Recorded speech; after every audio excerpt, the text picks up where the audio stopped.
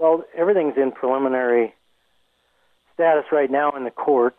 Um, they're not suing us; they're suing the Forest Service, and so we're relying on the Forest Service to defend our allotments. And we've been in contact with the people involved in the Forest Service, which is managed for multiple use, and they have um, said that they're going to defend our our permits.